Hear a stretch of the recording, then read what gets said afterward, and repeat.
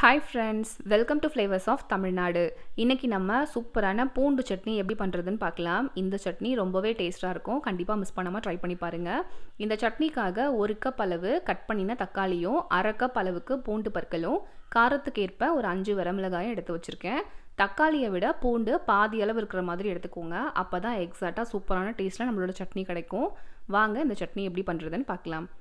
ஒரு கடாயில் மிளகாய் பூண்டு இதெல்லாம் வதக்கி எடுக்கிறதுக்காக கொஞ்சமாக எண்ணெய் சேர்த்துக்கலாம். நான் ரெண்டு ஸ்பூன் அளவுக்கு சேர்த்துருக்கேன். எண்ணெய் சூடானதும் வரமிளகாயை ரொம்ப கருகிடாமல் வறுத்து எடுத்துக்கோங்க.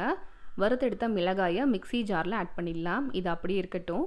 அடுத்ததாக உரிச்சு வச்சுருக்கோம் இல்லையா? அந்த அரைக்கப் பூண்டு பற்களையும் வதக்கிக்கலாம். நல்லா சிம்மில் வச்சு கைவிடாமல் கிளறி விட்டுட்டே இருங்க. அப்போ தான் வந்து பூண்டு பற்கள் வந்து தீஞ்சிராமல் இருக்கும். இல்லைனா ஒரே பக்கமே வந்து கருகிடும். இந்த மாதிரி கைவிடாமல் வதக்கி எடுத்துக்கோங்க. பூண்டு பல் எல்லாமே ஒன்று போல் அந்த மாதிரி வதங்கி வந்ததுக்கப்புறமா வானலேருந்து எடுத்து தனியாக வச்சுடலாம். இது அப்படியே இருக்கட்டும். இப்போ மீதி இருக்க இந்த எண்ணெயில் தக்காளியை வதக்கிக்கலாம். இந்த மாதிரி தனித்தனியாக தான் வதக்கி எடுக்கணும். அப்போ தான் சூப்பரான சட்னி கிடைக்கும். பூண்டு வதங்கினதுக்கு அப்புறமா அதில் நம்ம தக்காளியை ஆட் பண்ணினாலோ இல்லை பூண்டு தக்காளி ரெண்டுத்தையும் ஒன்றா சேர்த்து வதக்கினாலோ சட்னியோட டேஸ்ட் மாறிடும்.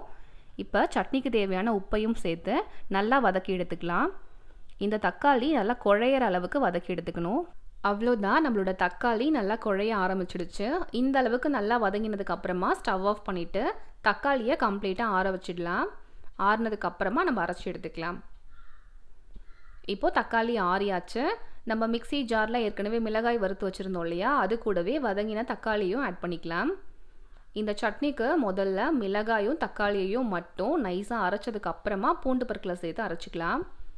இதை நல்லா நைஸாக அரைச்சிக்கலாம். அப்போ தான் மிளகாய்க்குள்ளே இருக்க சீட்ஸ் எல்லாம் நல்லா அரைப்பட்டுரும். பாருங்கள் நல்ல ஒரு கலரும் கிடைக்கும்.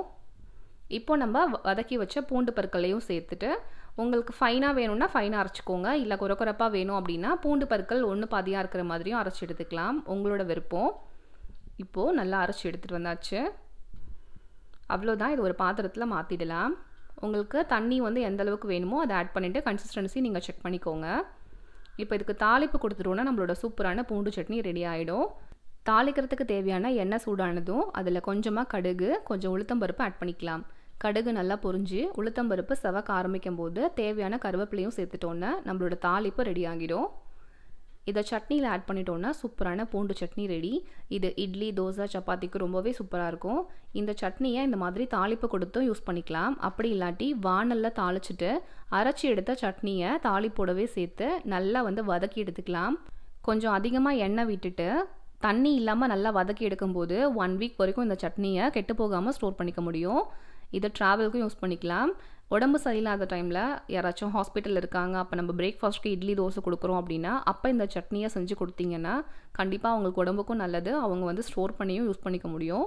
ட்ரை பண்ணி பாருங்கள் ட்ரை பண்ணி பார்த்தீங்க அப்படின்னா எப்படி வந்ததுன்னு சொல்லிட்டு மறக்காமல் கமெண்ட் பண்ணுங்கள் சேனலை மறக்காமல் சப்ஸ்கிரைப் பண்ணிக்கோங்க. பக்கத்தில் உள்ள பெல் கிளிக் பண்ணிக்கோங்க. தேங்க்யூ ஃபார் வாட்சிங் பாய் டேக் கேர்